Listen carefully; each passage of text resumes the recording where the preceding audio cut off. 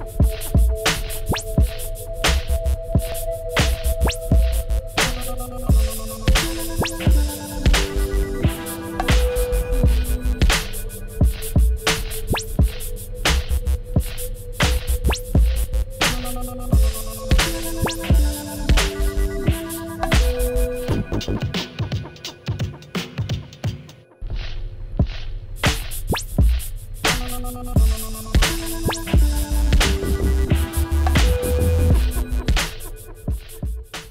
January 26, 2022. Robin, brother, how you doing?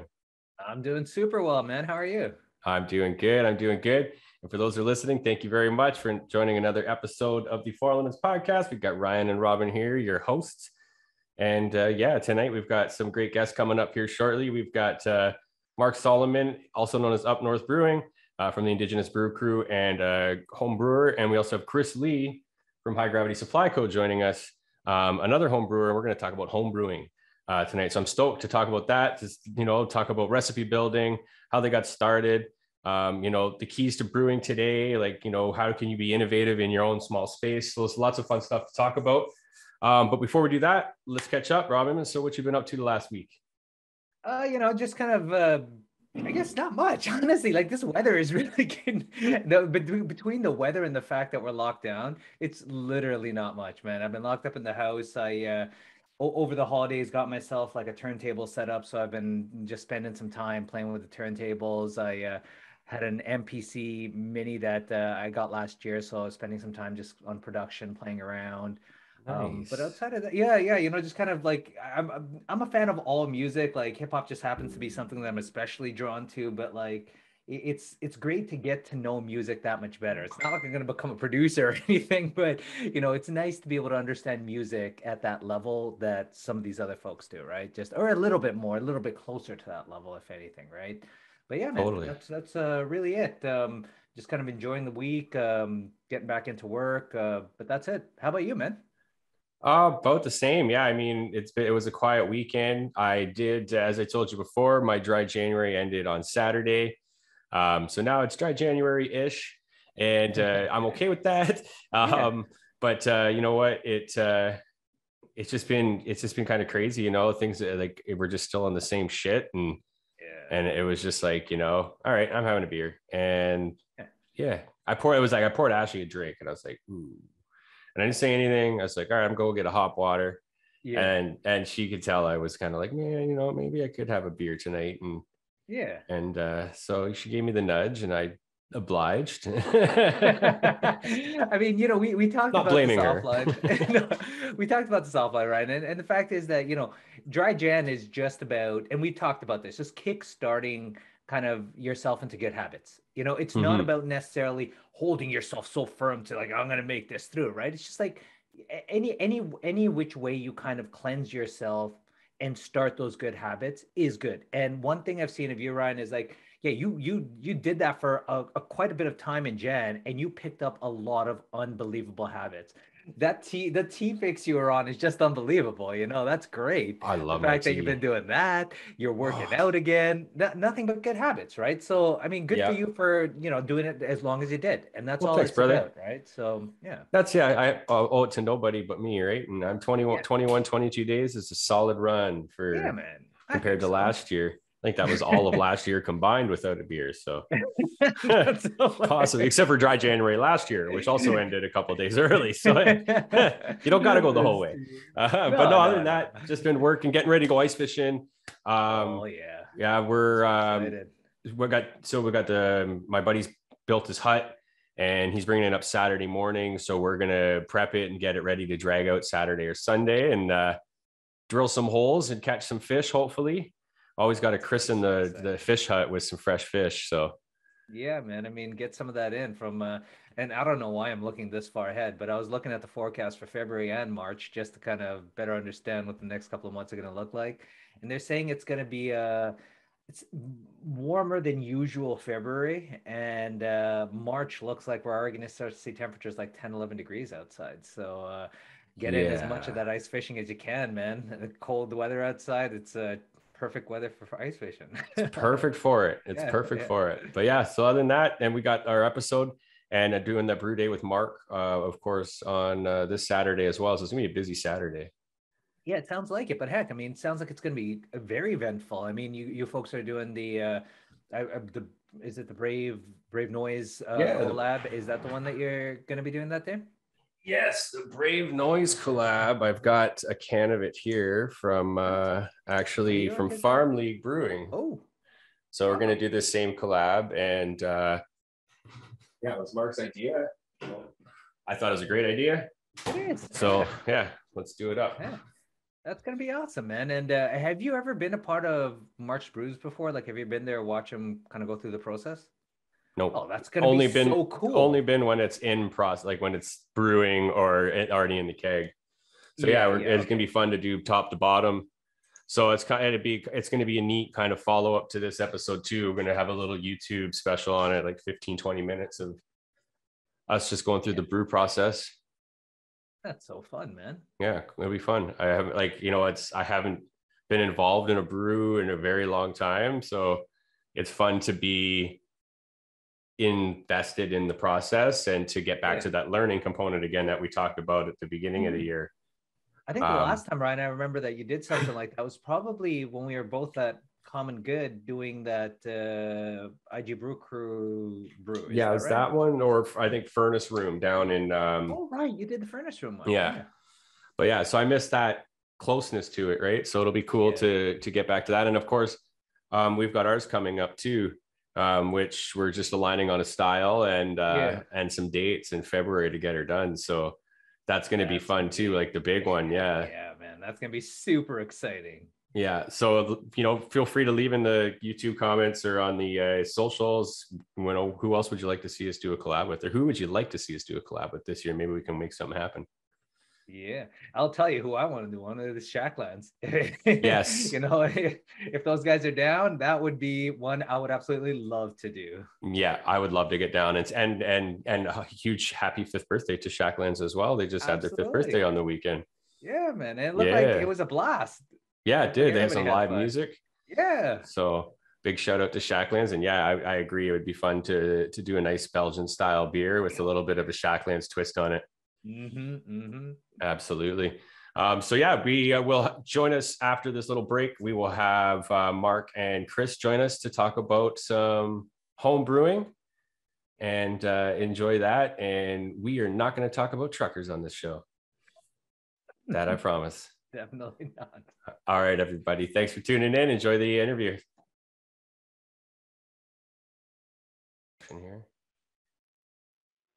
All right, welcome back, everybody. Um, huge thank you to our guests tonight. We have Chris Lee from High Gravity Supply Co. and Mark Solomon, uh, one of the members of the Indigenous Brew Crew, both um, home brewers extraordinaires, and they're here to talk to us today about uh, home brewing and just their experiences and and just you know home brewing in general. A little uh, little small education episode today, we'll call it. Yeah, so I thank mean, you both for joining. For any of those folks that uh, you know are out there have been thinking about home brewing wanting a home brew small brew one gallon brews maybe five gallon brews maybe they can get a little bit of education from you folks and uh, you can share some of the challenges that you've been through and uh, hopefully they don't have to go through the same Absolutely. So why don't uh, you both? We'll get you guys to introduce yourself and let everybody know who you are, a little bit about your background in, in beer, and and we can go from there. We'll start with uh, you, Chris. No, Marco first. Uh, Mark. But how- no, Chris go first. No, Come on, it's one on. hour You of go them first. being mods back. Uh, I'm Mark Solomon. Uh, I've been homebrewing for four or five years now. Um, member the Indigenous Brew Crew. Uh, I do. Um, I've done a few like major collabs with uh, some of the bigger places, Catalyst, Shacklands, uh, People's Pint. So um, yeah, not a like you know, not a great brewing resume. I've I've lost. How about this? I've lost more uh, more homebrew competitions than I've won. So There you go. i don't know Perfect. Mark. I that mean, sound like pretty some pretty uh, impressive collabs there i mean that sounds amazing right on. Thanks, Chris. Uh, so my name is Chris Lee. I'm uh, a home brewer, uh, graphic designer. I do. I have a label called High Gravity Supply Company. You can like this. Um, there you go, like that one too. Same kind of twinning in different uh, formats here. um, I've been homebrewing since uh, about 10 years now, um, off and on. Um, I'm kind of weird like that because I, I, I had a very, I worked in the, the bar, restaurant, nightclub industry for about 10 years prior to that. So I had a lot of exposure to beer, liquor, all that kind of jazz. Um, and my brother ended up buying me a, a Mr. Beer kit for Christmas one year, and that just sort of cracked open the whole the whole world. I was like, oh, cool, I can make beer. And I tried. I was like, I actually made a glass of beer. This is awesome. And I was just like, I was hooked immediately. Wanted to learn more. Um, yeah, and just here I am now. nice. So both of you probably had this a huge interest in craft beer before you started brewing. And, and Chris, you're saying, I mean, the, the transition for you over to home brewing from just enjoying beers was that Mr. Beer kit, which I'm sure a lot of people first start with. But Mark, how about for you? What was that kind of transition? When did you make that and why did you make that transition over to home brewing?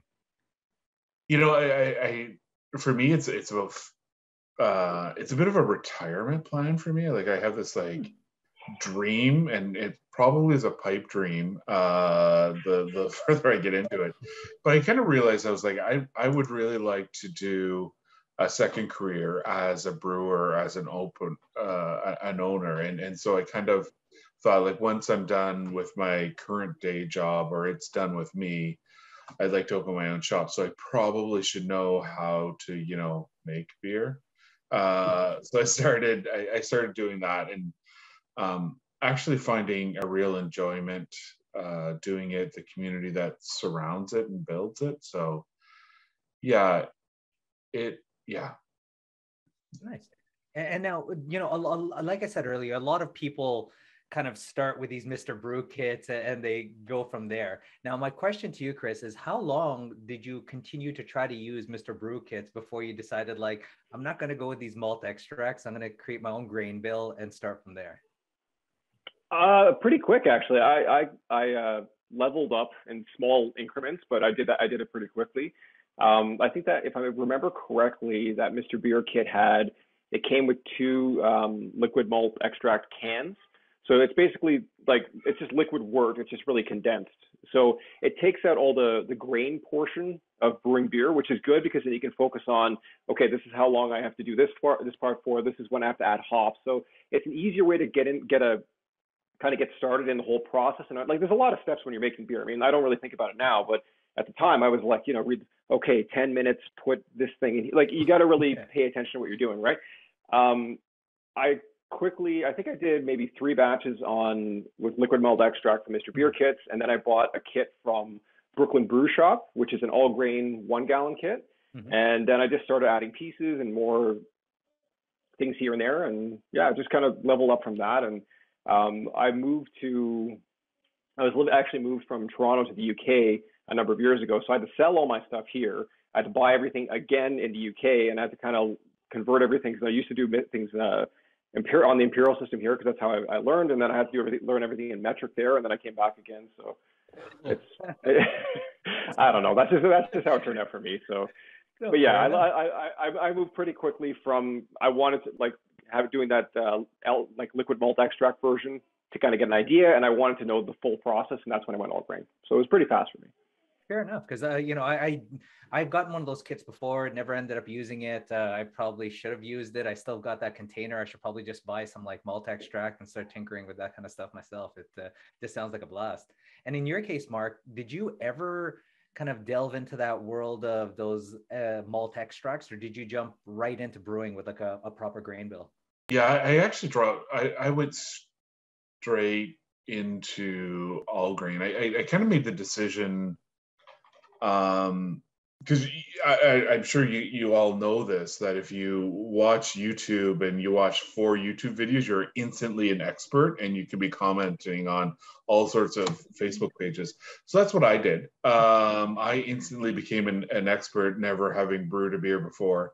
Um, I actually uh, kind of shout out to Toronto Brewing. I, I, I took one of their, they had a, uh, a learn to brew class. I don't know if you guys remember this. There was a time where you used to go to a store and it didn't matter how many people were in there and you didn't have to wear a mask you stand around and drink that was toronto brewing they used to run these brew classes and if you took the class they give you like something like 25% off anything you bought that day Nice. So I walked around like with my tax refund check and said like I'll take one of those, one of those, one like it was like Willy Wonka, right? So like they they somebody was just following me with a with a calculator. So I I jumped kind of two feet in. Um, so I never did the extract thing. I think that that was, you know, I have a lot of buddies who started doing that. It was something that uh, that I went into the all grain, and you make all sorts of mistakes uh, by not like what Chris said. The progression is a little bit easier, but maybe maybe Chris, you, you would know like the what I didn't have was getting rid of the equipment from the previous system before. Like I I'm brewing on what I started on right now. I know a lot of guys are just like, oh my God, I can't get rid of these like containers or I can't get rid of these mash tuns or boiler cutters. Like, like that's, there's a lot of space involved with equipment. Yeah, I, I, I, still have a lot of the pieces I used for my my, my first setup, uh, stuff I didn't sell when I moved, but like I still have the one gallon fermenters and stuff like that. I mean, uh, yeah, to keep adding to it, takes up a lot of space, and you know, looks cool on the wall behind you. But I'm not in that space right now. But well, I'm, I'm, sure it's great for certain types of brews. If you want to do maybe an experimental one gallon brew, or you want to brew maybe something like a barley wine that you know is going to be a little bit heavier, and you don't want to necessarily invest five gallons in that or something like probably come in handy at some point. Well, I mean, that's that's the thing. I mean, you can either I learned pretty fast where all the recipes that I that I started reading, like once I started doing all grain, everyone's like, oh, five gallons! It's written in five gallons." I had no idea how to convert it down or scale it down or up. Yeah. So I assumed I'm like, I have to make five gallons. I have to do this. Would and if you jump right from one gallon to five gallons on the stove top, it's a nightmare. Like there's so many things that could go wrong. Trying to get enough heat out of your enough power out of your stove to boil a five gallon like it, it's a it, you need a, a, very powerful stove to do it properly. Uh, and the margin of error is just it's it's this all over the place. You can't you can't get it dead center, you know. So, um, yeah, I mean, I I, I think um, starting smaller is a bit easier because if you make an, a gallon of great beer, that's awesome. If you make five gallons of bad beer, you got to dump five gallons or feed it to someone that's going to drink it, right? So. Maybe a neighbor you can pass it off to who just enjoys beer. Good way to make friends. Here's a horrible beer I made in my garage. Not good friends, just friends. Stay off my lawn. It sounds like getting into it. It's you know I hear, I hear you say getting your feet wet. You're not. You're kind of really diving in head feet or feet first, head first, feet first, what have you. I can't even say it straight today. Um, we're supposed to be recording Thursday, so my mouth is all over the place tonight. Um, but uh, my question that I'm trying to say correctly is when you're jumping into it and you talk about size and, and, kind of how you get into it, what's aside from these Mr. Beer type kits, like what's the general kind of starters guidelines for setting up a homebrew kit? Like what are the basic necessities you would need to get going? And I'll let either of you, I want to start on that if you either want to lead in. I got that question out right. That was good. Yeah. Sorry. uh, I'll go. I'll go first. Um, I think um, the easy way to do it, I think, if you pick up, I think it depends on your space. Um, when I started learning how to brew, I was I was living in a condo. I didn't have any place to stick huge fermenters and stuff like that. Like I had, I ended up having fermenters under my desk in my living room, which was very weird, but that's how it worked for me, right? But when I moved up to like larger size, larger size uh, uh, batches, I needed more space to do it. Um, brewing on stovetop versus outside is, is another consideration too. If you're doing a, a gallon on stovetop or two gallons, very easy to do. Uh, if you're outside, it's very easy to do five gallons, and you know it's very simple to do one gallon. So, fair enough. Yeah, I think if you were to jump into it, one of the first things you should do is try and um, hook up with the local homebrew club. Um, uh, the the big lie of homebrewing is that it's uh, it's cheap. Um, it's de- it's definitely it eventually does get less expensive um, when you kind of have your system and, and, and all that locked in your first couple of years it is not. You're constantly kind of buying new equipment you're buying new things. Um, but the reason why i say like go to your homebrew club is nine times out of ten they're doing some type of bulk buy at least once or twice a year whether that be for hops or or whatever uh, um, the most expensive thing you you buy when you're a home brewer is is hops and of course everyone wants to make you know uh, Pliny the Elder, you know, it suddenly uses like two pounds of hops in the homebrew world, that would probably cost us, I don't know, 40, 50 bucks in hops minimum. Oh. Um, but but like a regular brew shop buys all that stuff in bulk, and so it's it's almost you know it's it's negligible for them to to throw in to throw in in hops. So that that's what it is. I do I do kind of put a, a little asterisk like when you join a, a homebrew club, just be very mindful. It's male, very male dominated. It's a very white, homogeneous group. Nine times out of ten, they've all been together. They've all competed together it feels like a little bit of a closed society. I, I actually belong to two homebrew clubs and I've never been to a meeting. Um, I just have been part of like the bulk buys and stuff like that. But um, the more that you can buy in bulk, whether that be right right from the the brew uh, the homebrew shop or or whatever, that's your best way to save money. And there's you know you'll you'll find the ingredients that you use all the time those are the ones that you want to have a big bag of because you're going to make a mistake or you're going to have to make a substitute halfway through because you for, didn't think you had enough mosaic and you have to throw something else random in there. So yeah, you do. Wow, that's so surprising to hear that uh, the hops are that expensive. I, have purchased hops before for my kombucha brewing, but like I purchased them at like one ounce packages, which is, you know, tiny and that's like super affordable, at least for me when I'm brewing kombucha.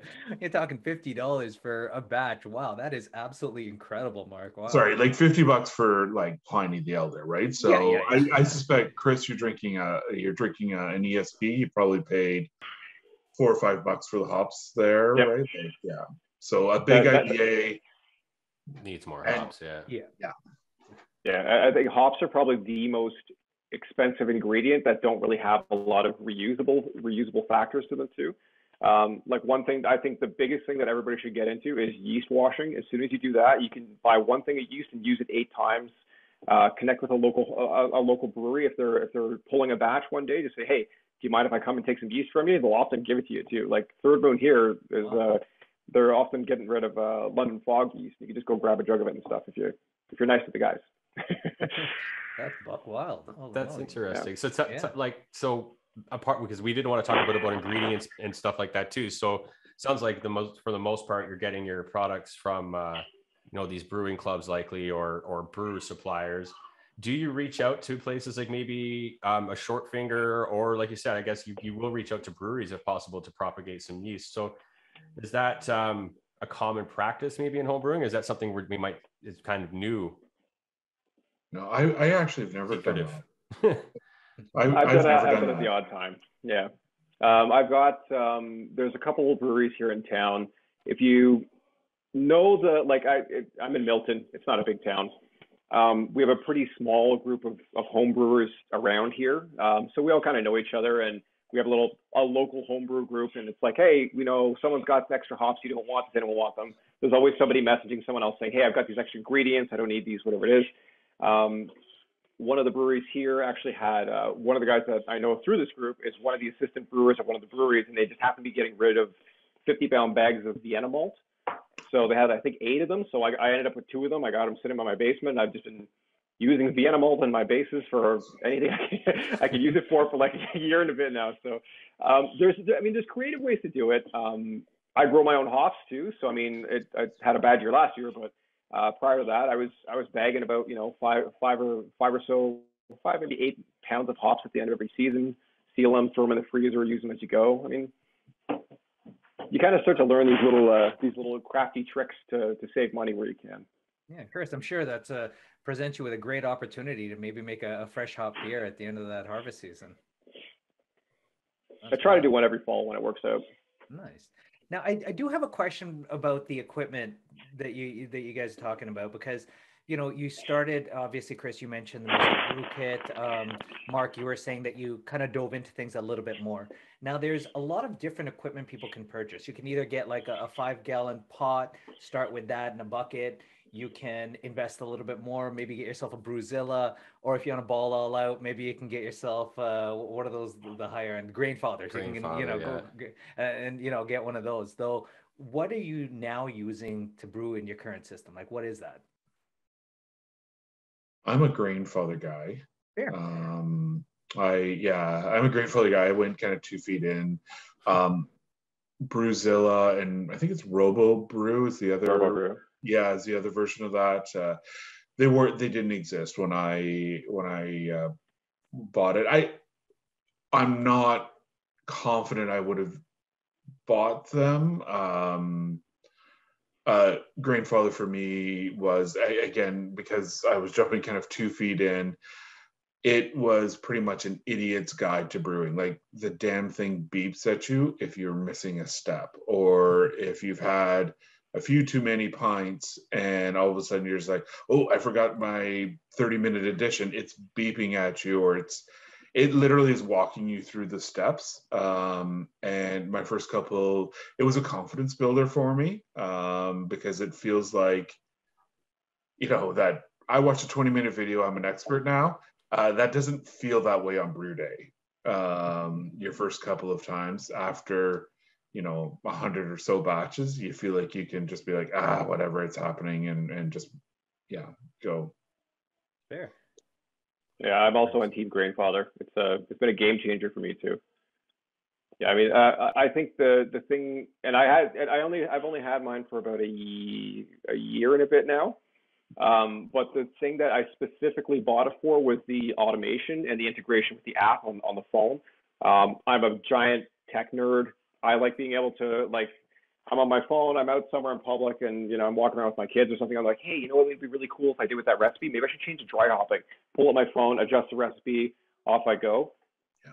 Um, and I think Cool. it makes it a lot easier too. I mean, like I'm a, I'm a dad. I got I got two little kids. On brew day, I can set stuff up in my garage, set stuff to go, go be with my family. Boom, time to go in and do this thing. I go in the garage for five ten minutes, do the next step, out I go. And um, the automation's amazing. Uh, the fact that I can try some really cool things, like I'm really, I'm really getting the step mashing now. So that's like my my big thing with all my my farmhouse beers. I'm trying all these different step mashes to get, uh, you know, different different uh, profiles in the water and try to get different enzymes to go. It, you can go uh, you can go deeper on being a beer on a um, on being a brewer when you have that extra that extra that extra bit of a safety net with it. Uh, you're not. It's I, I found when I was brewing stuff stovetop or on over like a propane burner before when you're trying to hit you're trying to hit 142 for your mash temperature. You're constantly measuring it. You're watching it. Turn the flame up. Turn it down. Add water. It's like you- it's it's it can be done. People love doing it that way. I like going okay 142. It's at 142. Give it a stir. My mind is at ease. It makes brew day a lot shorter as well uh, and more efficient. That's that's my that's my two cents on it. Sense. I mean, heck, uh, the automation definitely would make things simple because I've seen, you know, just endless videos on home brewing, and it seems like a lot of the requires a lot of precision, especially early on when you're trying to extract as much as you can out of the malts. It needs to be really kept at a certain range, otherwise, it's not going to steep the malts to get what you're trying to get out of it, and that ends up changing the whole profile of the beer at the end. Um, that's amazing. I mean, and and honestly, like those machines, and in you you guys all chime in with this too they're not that much considering how much they offer. I, I get that they're not cheap machines. I, I get this, but I mean, if you really want to get interested in home brewing and you want things to be as simple as possible, it seems like it might be worth the investment in looking at one of those. Like, it's not that bad. Yeah, I, I for for me, I had the. I feel like I'm going to end up here anyway, so I might as well start here. So I just kind of got that like, it's going to happen, and and this is something. Uh, I actually started. I started watching David Heath videos, and it felt like he really had. He had it down to a system and, a, and an art form, and it seemed like that was something that just let me kind of again build that confidence and understand what he was doing. Uh, and to Chris's point, the recipe, uh, the recipe uh, engine on Grainfather is fantastic, and and I started before Brewfather, and even Brewfather I don't use that much, but um, the recipe engine, almost all recipes are kind of like open source, but uh, it's really nice to be able to have the confidence of you know, and you could mess around with it, and you don't need to personally do the math on how much how much water you need to add or mash in with or or it it takes that part away from and that's still an art. And i truly respect the people that are you know out there with a calculator weighing grain and measuring water and all sorts of stuff. I'm just uh you know this is not it's not a full-time job for me. So i'm just gonna like let's make this happen right? So. Fair enough fair enough i love when you're uh you're, you know you're talking about recipes and and you know the consistency within this tool itself but when it comes to building a recipe or, or go, getting a recipe for yourself as a home brewer like what kind of planning do you do? Or do you really do you really lean on these apps to help build or existing recipes like a, a pliny? Or do you tend to start from scratch sometimes and maybe like i'm going to build grain up and and create this beer uh, you know in my own notes type of thing chris mark Anybody there? Yeah, um, I um, I'm uh, a, big. Uh, I've I think I've only brewed maybe maybe four or five kit beers. I was very like right from the get go. I was like, I want to learn how to how to mix this malt with this malt to get this color, and you know how do I use these hop combinations. So I haven't done. I haven't. I've done most. I'd say probably ninety percent of my brewing has been personal recipe development.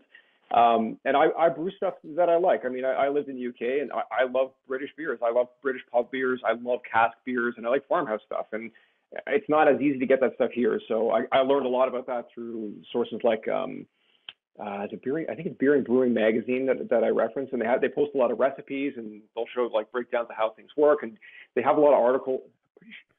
Yeah, second, let me just Google this quick before I'm giving you guys wrong information. I'm pretty sure it's beerandbrewing.com. It is beerandbrewing.com. Okay, so beerandbrewing.com. If you go on there, they have uh, they have a recipe section, and they'll have they have stuff on here like how to brew, like for example, how to brew your best your how to make your your best dark mild, how to make your best, and they go through like dark mild. This is the malt you should use. Historically, the style looks like this against BJCP. As long as you're within this range of this, you're a lot. You should use, you know, have a little bit of roast, a little bit of chocolate, but not this, not that. So I kind of I'll use a rough style guide and I'll use information from stuff that I've read to kind of cobble a recipe together. And then I'll brew it. And then, like this beer right here, this is um, a clone recipe of a, a five points uh, best bitter. Uh, it's a clone recipe I found online. I love ESBs. Try this one out. Uh, it's really good, but now I know like next time I brew it, I can go into the, the app and I'm going to adjust it. And I, I want more, I want more, it's all Fuggle hops all the way through, but now I'm going to put a, a, a, dry hop addition on this to make it, make it pop a little bit more and try some oats to smooth it out. And like once, a lot of the stuff I do is just to kind of park. And once I'm there, I can figure it out about what I want to, what I want to do more with the recipe and how I want to develop it more. So. I, have used a lot of clone recipes uh, just to understand the style a little bit more.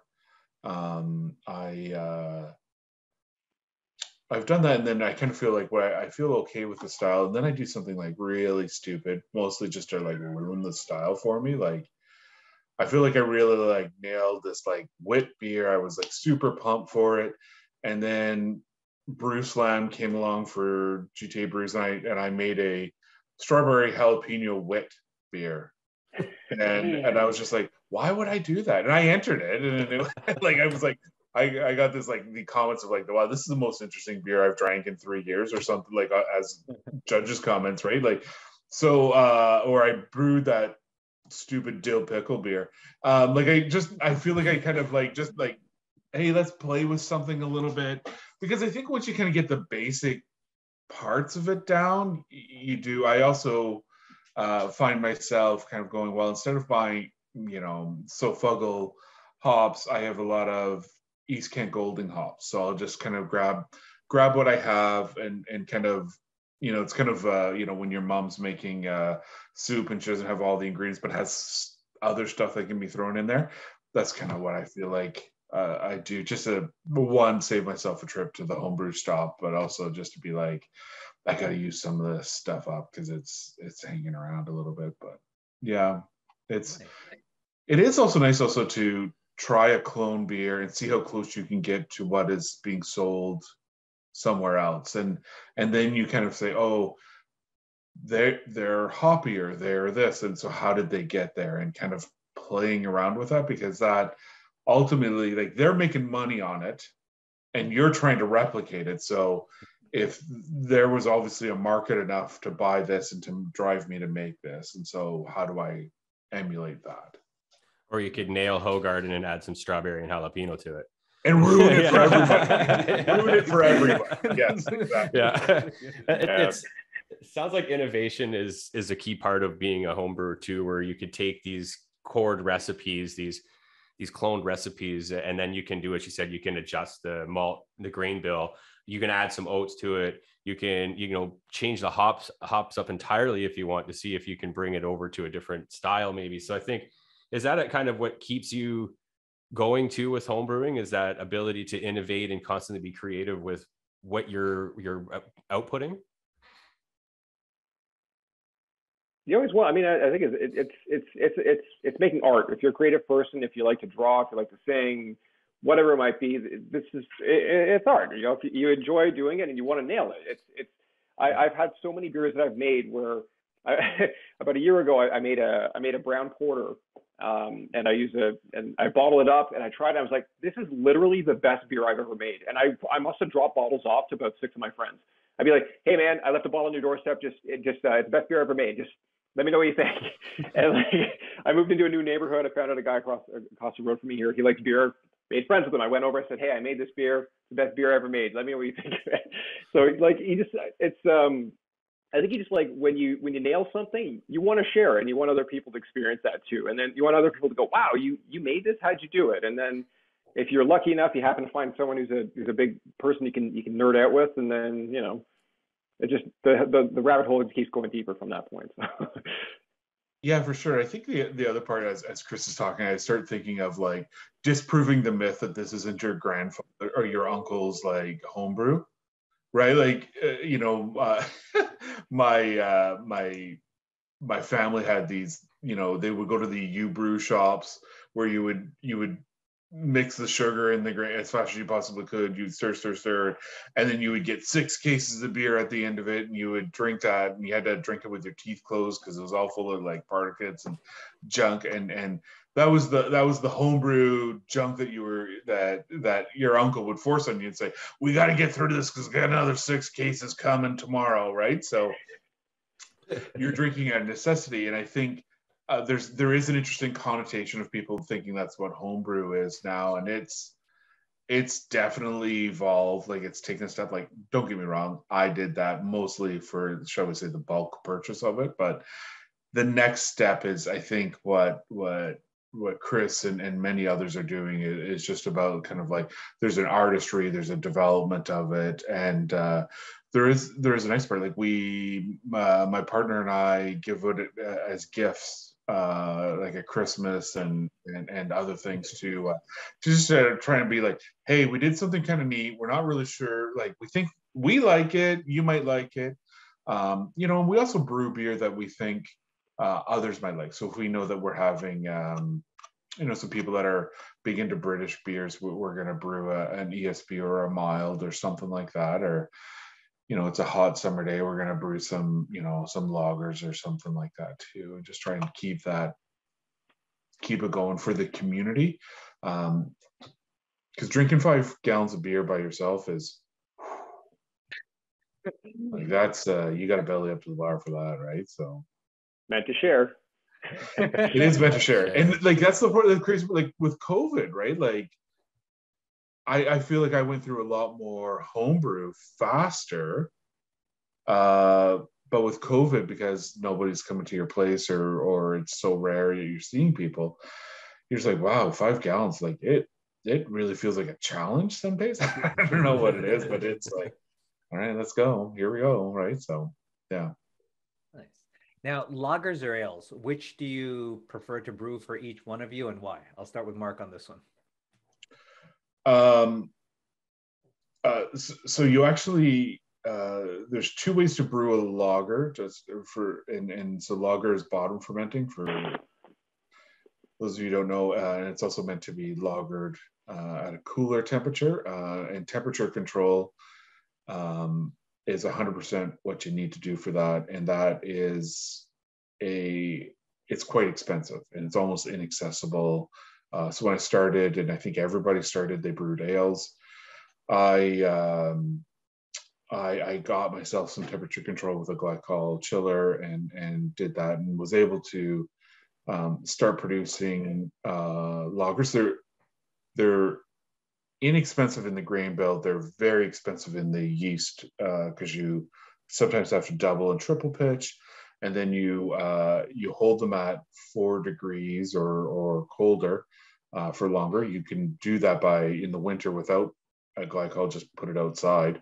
Um, eventually, it'll clear itself up. Uh, so I I prefer uh, I actually prefer making lagers. We drink a lot more of them around the house. Um, uh, yeah, lagers I I prefer because we drink them and I think they're a little bit more accessible rather than a big hopped beer for uh, for the community that comes over here. Well, used to come over here. You, you had that great Vienna that you had this year, this summer. That was phenomenal. Yeah. Yeah. yeah.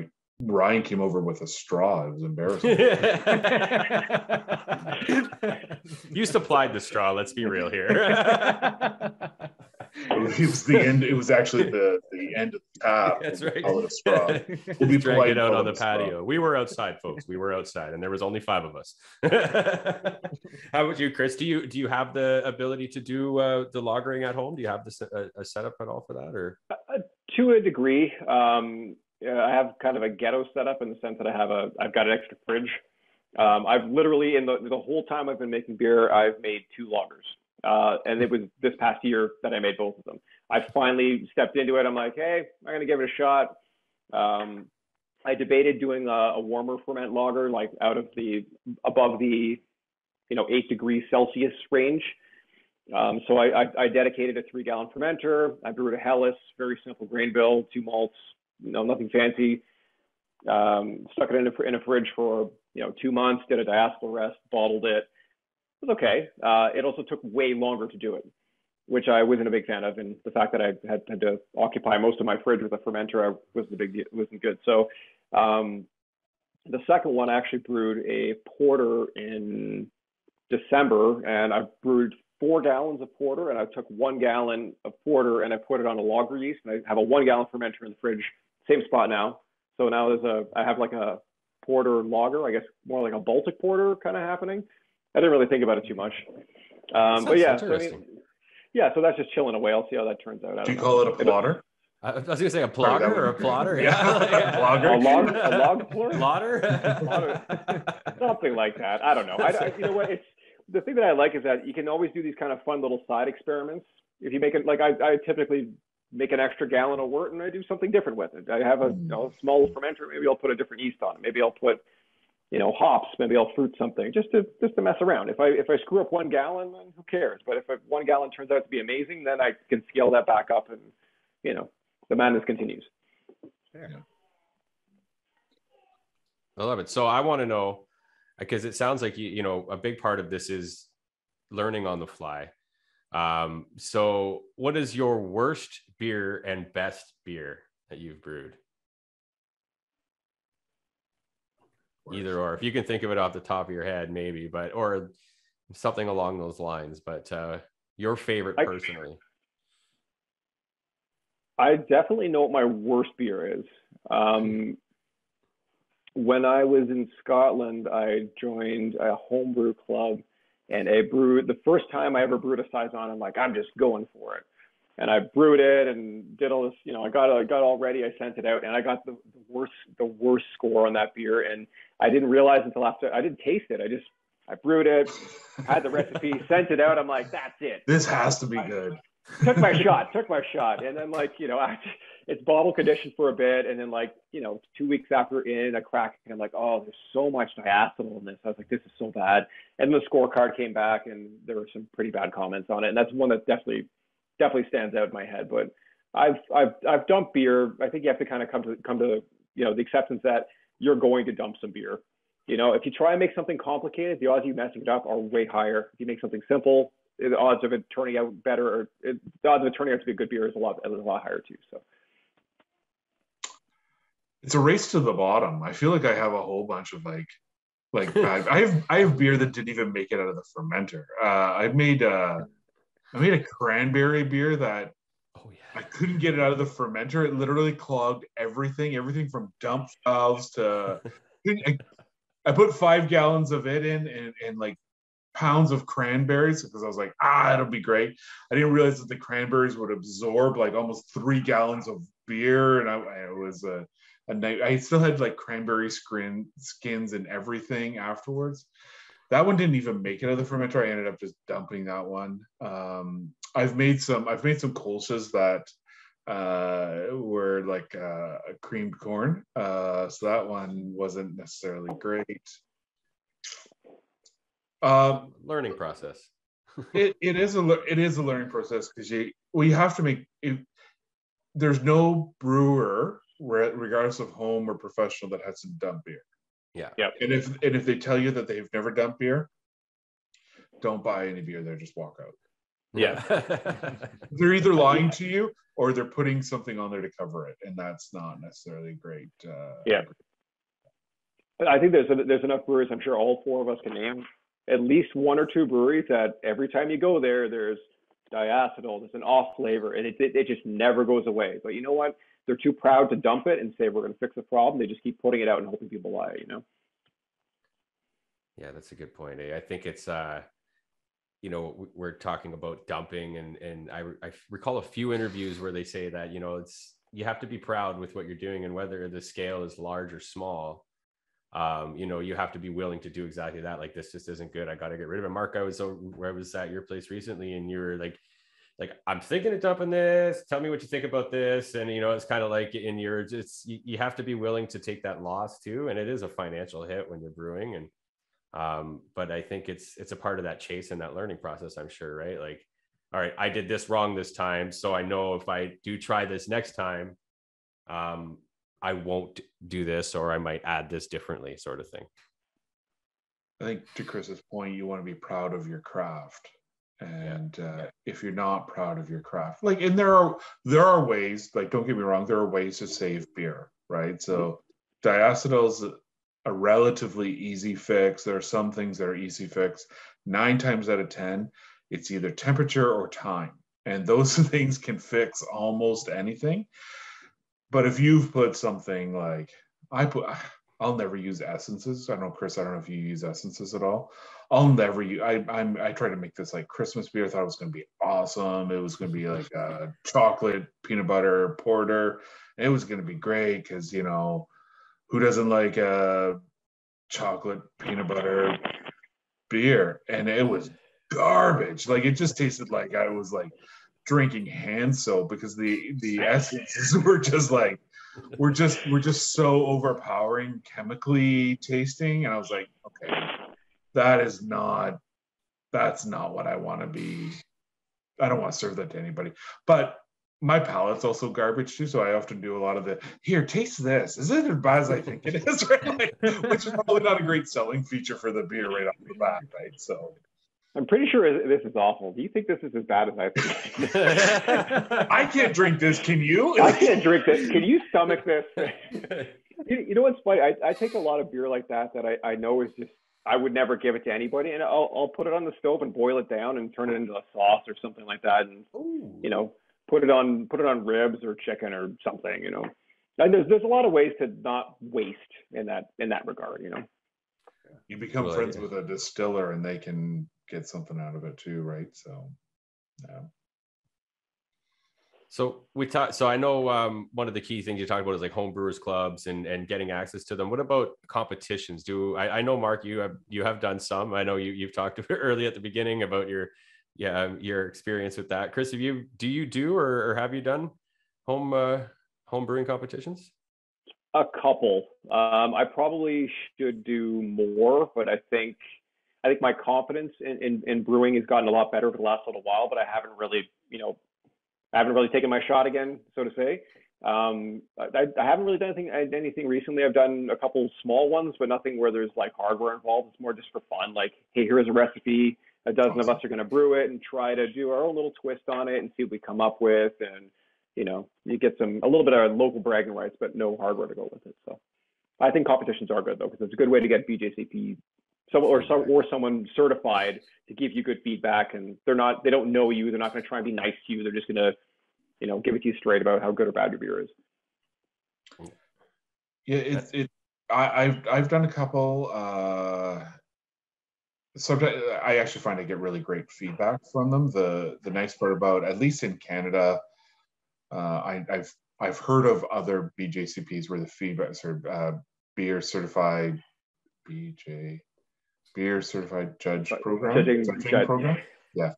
Um, uh, I, have heard the feedback being very mean and in some places I've never had mean feedback. I've had people talking about like you should maybe think about this or you know this was spot on for the style or, or you're out of style here you should have done this or that uh, it's actually quite constructive feedback I, have I've gotten when I when I, I haven't done well um, but then the other part is like some of the feedback is this should have been aged longer. And I'm like it was two years aged right? Like, like that quad. I had a, I had a quad uh, it won gold uh, at a competition two months earlier didn't even didn't even place. And so out of a score of 50 it got like something like 25 but gold the next time i entered it. Hmm. Wow so like so there is a bit of a variance and you can't tell me that in yeah, three yeah. months that beer changed enough to make it from a beer to a, a gold winning beer right so it, it is an interesting so it is you know, there's some subjectivity to it, right? Like we all know, you know, if the four of us make tasting notes of a beer, it's all going to come out a little differently of what what we all smell and you know what we went through that day. But it you don't put your heart into it, right? Like you enter it for the fun to get the feedback. Uh, it can be soul crushing if you. it's like that was my favorite beer, and I got a 25 out of 50. But so. Well, it's it, it is an interesting point, and I think you know, as somebody who had minimal to zero exposure to the current home brewing idea and, and what you what you both do and, and the, the artistry that it is and, and exactly what you said earlier mark the you know buy your six cases or whatever like um, having to actually experience my first sip of homebrew which was something that you had brewed mark it was your california common it was eye-opening for me as somebody to as a consumer of beer who loves good beer it was like wow like you know this is a, an amazing beer that's brewed in such a small capacity in, somebody's house like it really opened my eyes on how um, the craft in, in itself is is so much broader than what we see in our general consumption sites like breweries and liquor stores like um, the home brewing scene is got a lot of great amazing brewers in it it seems and there's there's some amazing beers coming out of it because my my exposure has been great so far it's been small but it's been great so i you know as is I don't really have a question. I think this is more of a statement. there's a, there's a lot of great homebrewers out there that um, yeah. that on par could put their beer beside any commercial. Uh, sorry, I'm not one of them, but there are some people. There are a lot of people that could put their beer side by side a commercial example, and and it would be a coin toss. What is the homebrew uh, and a blind taste? Yeah no doubt, eh? There's some very good artists, like people who have studied the craft, right? So, Chris, have you ever blown? Have you blown up anything? I always, I was. What was your biggest mistake? I have some great ones. Uh, I can think of a lot. Um, I could, you know, I, I can't count how many boil overs I've had, uh, stuck mashes. I think um, one of the things that happened that I think people it's like any skill. When you level up, you want to jump to the next step. You don't want to jump 10 steps ahead because I think that's where a lot of mistakes happen. And I can recall early when I started making beers and I was like, you know what? I'm going to take this beer. I'm going to put raspberries on it. I'm going to put vanilla beans on it. And like, I remember there was a, there was a, a stout that I made that I put, uh, I took vanilla beans. I soaked the vanilla. I had this huge process. I'm like, it's going to be brilliant. I took, I had vanilla beans. I shaved them all down. I soaked them in whiskey for like a month, and then I took those the, the whiskey that had the vanilla in it, and I put some wood chips inside of that, and I soaked that for another little while, and I put that in the beer, and then I got chipped chocolate, and I put that in, in the in the kettle, and I put blackberry, and I like I just went like adjunct buck wild, and it was like this is going to be amazing, and it was it was it was awful, like, but I think it's like it's one of those things where like if you go if you you can't jump from level one to one to ten without knowing all the stuff in between because I probably could have made that beer work if I understood how to actually add the the adjuncts in the beer properly, you know. And I think it's, it's I've, I've done infinite amount amount of mistakes like that. Um, I've had a, a couple bottle bombs. I haven't had any in a little while, which is which is good. So I've never had one of those. yeah, there's no, there's nothing better than you're you, you be you're asleep and it's like boom. It's like what was that? That's probably it's probably nothing. Boom. What was that? And, and then, then you just don't you don't even know what, what it is. You're like, ah, it's probably nothing. And then like, you know, a couple days later you go check on that beer that's aging and it's just a mess everywhere. And Bottle bombs. I love it. That would definitely be a terrifying sound in the middle of the night. so if you if there's a style that you haven't brewed yet, and we're gonna close up here in a minute, um, what style would you like to brew if there's one you haven't brewed yet? Give it to either of you. Whoever jumps in. do I want to brew in general or do well? Uh, well, I mean, you'll get better at it over time.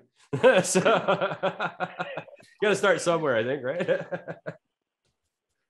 so one that you would like to get do it well, but you could start by doing it and learning.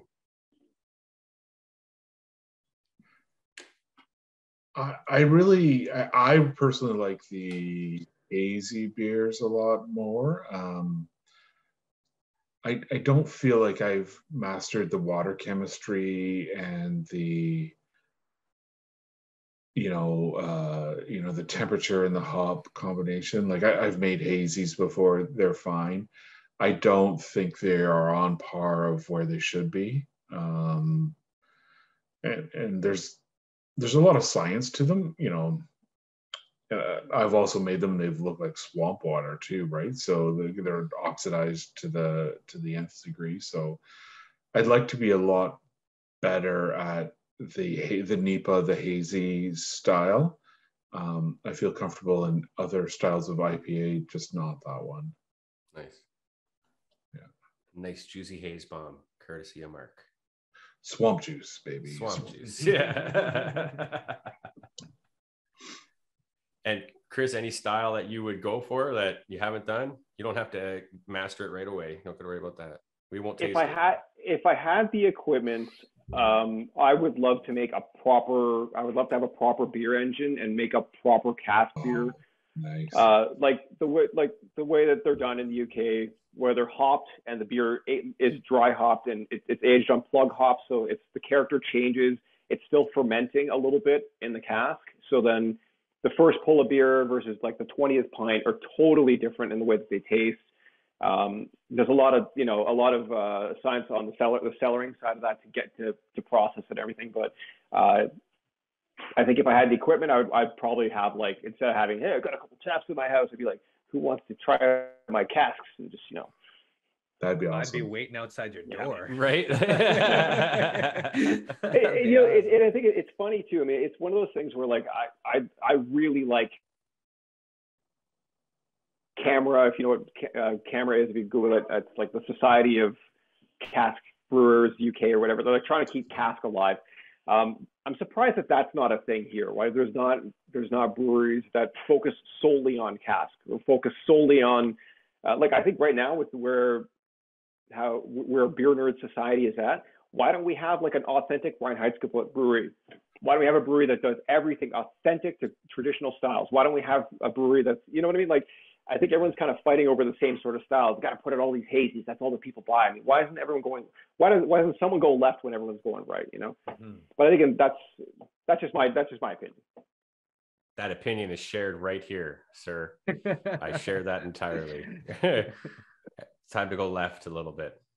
Well, it's we were we talked about that. Just new you know styles we'd like to see as older styles. I had a yeah a bière de Mars last year, and I was like, "Well, what's a bière de Mars?" And I tried it out. I was like, "Wow, that's a bière de Mars! Like, that's really good. Never had the style before. That was Salter Street. Like, you know, yeah. so there. I think it's also there. There are some places out there that may not be that traditional, like not full on Reinheitsgebot, but I think they're just muddled by exactly what you're saying. Everybody fighting over the same, um, same style or or the the same hype because a lot of it I think is also driven by what we want to post a picture of and get the most likes out of. And right Absolutely. now, Haze gets likes. Well, well, if you think about it, hazy beer is literally a beer that was designed to look good on Instagram. It, that's where the culture is. It's literally a beer to look cool when you take a picture of it. Yeah. It tastes good. I mean, Yeah. hell, It tastes good. It tastes Yep. damn good. so good. I think that's the problem with them too. Is they taste so good. well, I'm looking forward to. Or we're doing an IPA this weekend. I think, are we, Mark? We're uh it's actually probably an appropriate week to be doing it. We're gonna brew uh Ryan's coming over. We're gonna do the uh the Brave Noise homebrew um, Nice.